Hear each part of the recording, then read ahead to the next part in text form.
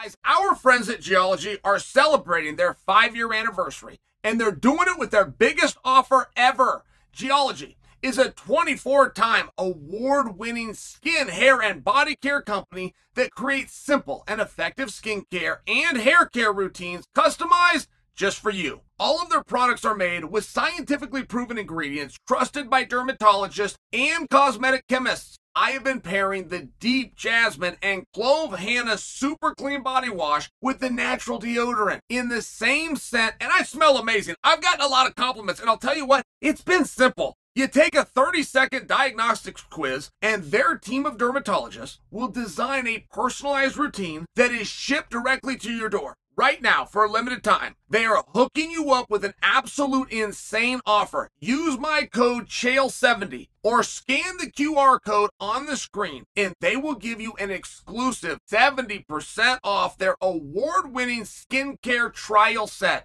On top of that, you can get 30% on the add on products of your choice when you add it to your trial. This is one of the best offers you will ever see. Get it before it's gone. Head to geologie.com to level up your hygiene routine or just click on the link below.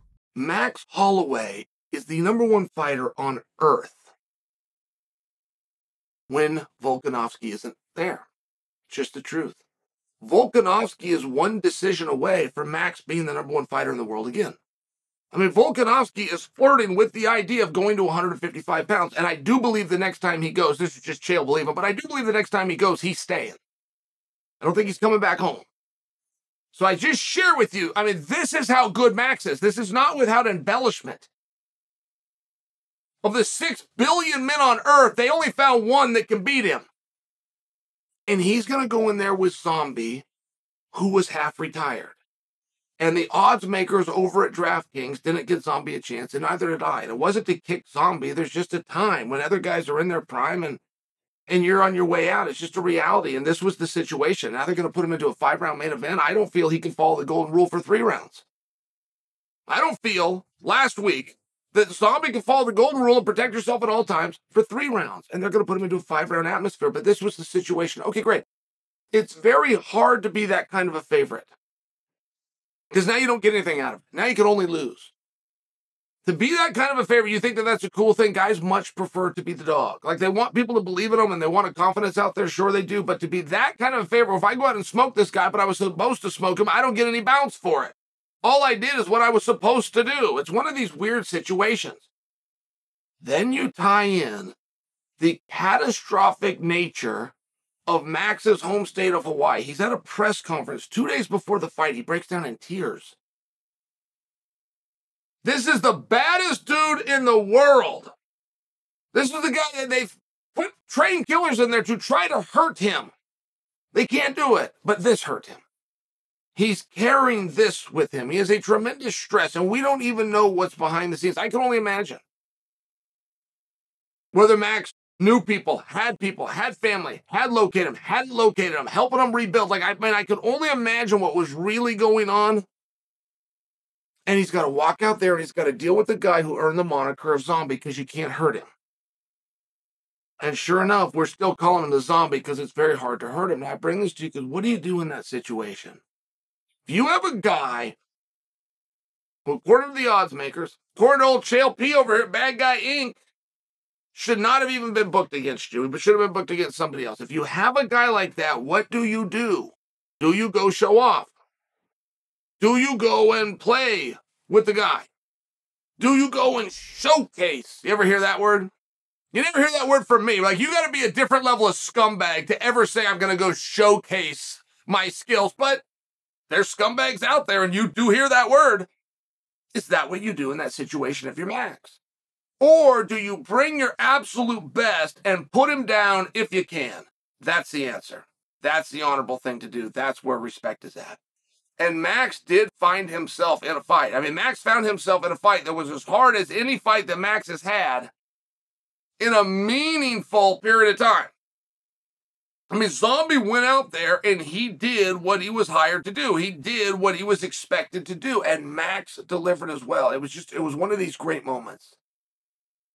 And I don't take a pleasure in the fact that Zombie got knocked out. You guys haven't seen a lot of knockouts. If I was just asking you the last month, you watch all the shows, you go, yeah, I watched one championship and I watched Bellator, I watched UFC, and there was eight knockouts, JL. What are you talking about? It's like, eh, no, there wasn't. As a matter of fact, I think that was the only one. I'm not talking about a guy goes down and we stop the fight or the announcers yell it was a knockout. I'm talking about when a guy is unconscious. That's a knockout. And it really was a special moment, and that's the way that it was supposed to end. I had a coach when I was growing up named Roy Pittman, and Roy Pittman would show up to every single tournament and match with a towel over his shoulder. And people didn't know why he had the towel. He never used it. I mean, they like go have a snack and then use the towel to. He never used the towel. The towel was just there.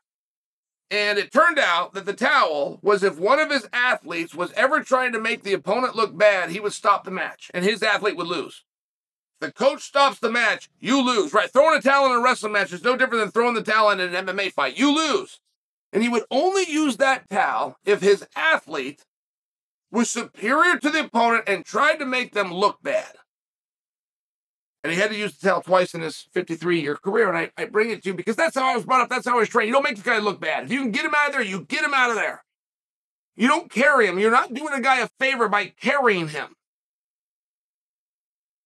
And nobody ever does that, by the way, not fully and intentionally. They don't just help somebody through a match. They will go out and they will make them look a fool while they're showing their speed and their skills and their new techniques. And look at this roundhouse that I've never tried anywhere, but I saw it on TV one time and it sure looked cool. I mean, it's, it's one of these things, and that's just not what Max did. It's not what Zombie did. They, those guys went out and fought. Max put him down, and Max had to deal with that. You saw that absolute relief from Max, right? When you saw Max jumping into the crowd, you're seeing a relief because you're seeing all that pressure, all that stuff that he brought with him, all that stuff from his home state. He's got being a huge favorite, being in the main event, being in a different country. You have a relief. Fighters often tell you, I'm never fighting my opponent. My hardest opponent is with myself, but they don't elaborate on that.